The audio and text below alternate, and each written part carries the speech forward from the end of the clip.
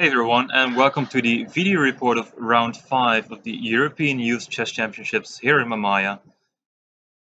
So, after round 5, um, well, during round 5 we were struggling quite a bit, as you can see, 8.5 points. And um, the lowest score so far we've had during this tournament, just like round 3 basically. Um, also, a few top players didn't manage to win their games against some lower rated opponents. Um, as you can see, quite a few draws in the under 18, under 16 categories.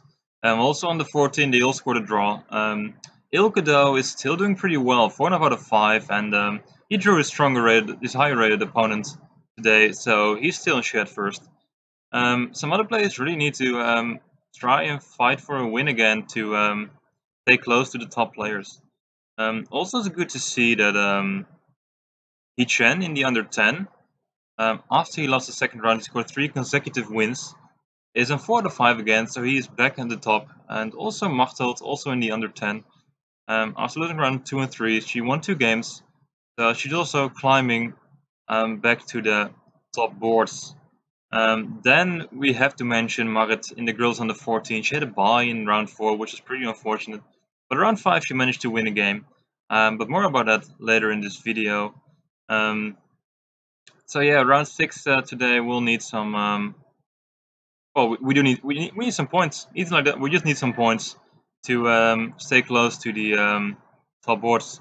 Um, also, we just had a rest day yesterday, which was quite nice. Um, big part of the delegation played soccer on the beach, and um, everyone just had a swim, uh, enjoyed their day. So today we're full of energy again and ready to fight. So that's good news. And for today, I want to show you uh, two game fragments from um, our players. And the first one is from um, the game between, I've gotta spell his name, pronounce his name correctly, Pultinevicius against Lucas van Foreest. And this was quite a close game because um, chances on both sides, and Lucas was better for most of the game. He's still up two pawns, but as you can see, his king is quite vulnerable.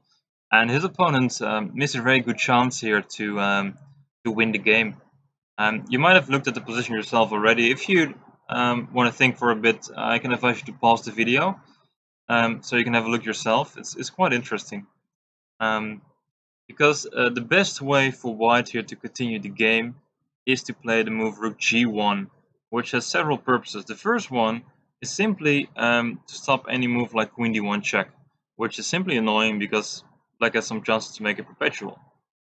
The second uh, idea is that white is threatening queen g8 uh, to simply win the queen on d5.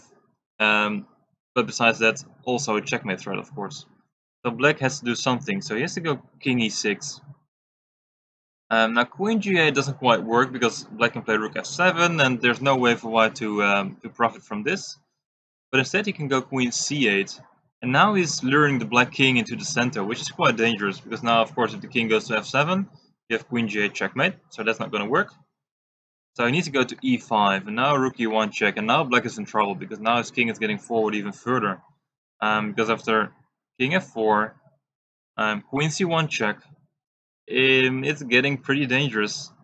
King g4, and rook g1 check, and as you can see the king simply doesn't have too many squares, because there's always a checkmate threat.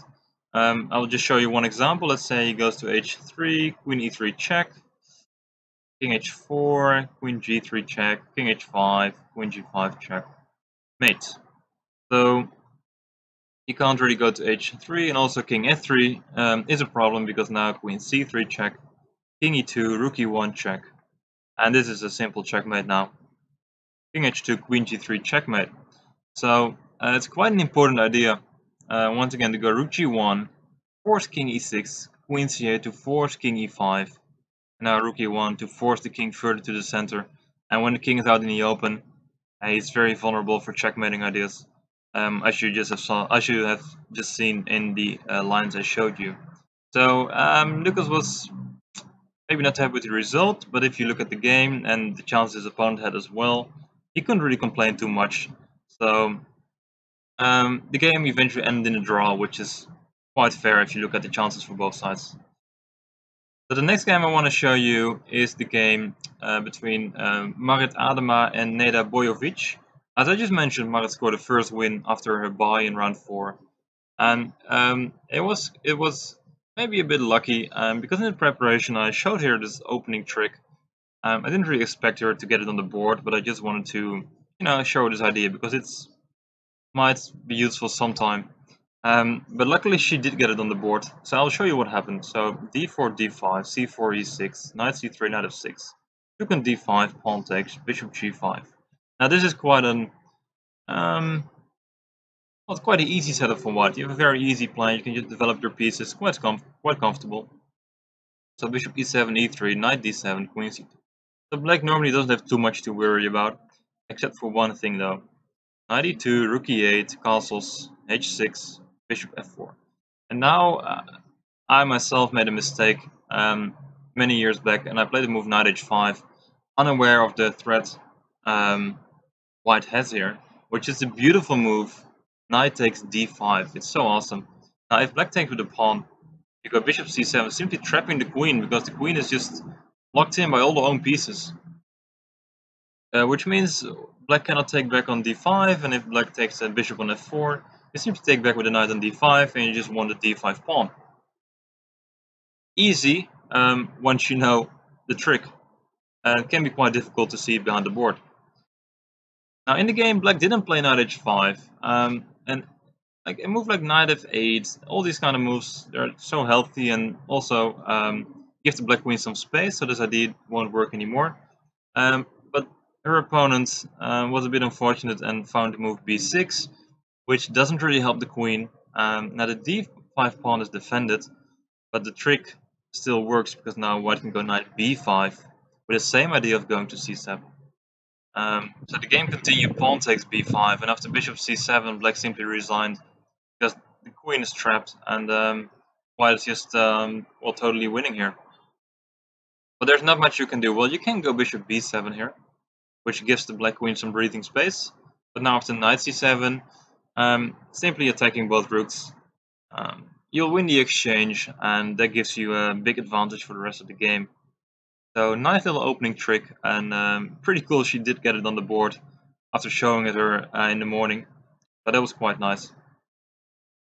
Um, so yeah, yesterday the rest day, as I just mentioned. So today round 6, and um, well, it's time to step up the game. If you want to stay close to the top board, you got to fight and uh, score some points. And um, it's going to be difficult, but we have some um, good candidates for um, for the medals. So um, hope they do well. Um, I think we got seven players in the live boards today, so it's really worth following them. And the game started um, 3 p.m. Uh, local time, which is like 2 p.m. Central European time. So make sure to tune in. You can uh, find the live games on the tournament website, which is linked below this video. Uh, or you can, of course, watch on Chess24, chessbomb.com, follow chess, etc. All these websites also transmit the games. So um, I want to wish all the players good luck for today, and I want to thank you all for watching. And um, if you have any comments about the games or the videos, uh, please drop a comment or drop a like or a follow or whatever. Um, any feedback is appreciated, and um, I hope to see you all in the next video report. So thanks for watching, and goodbye.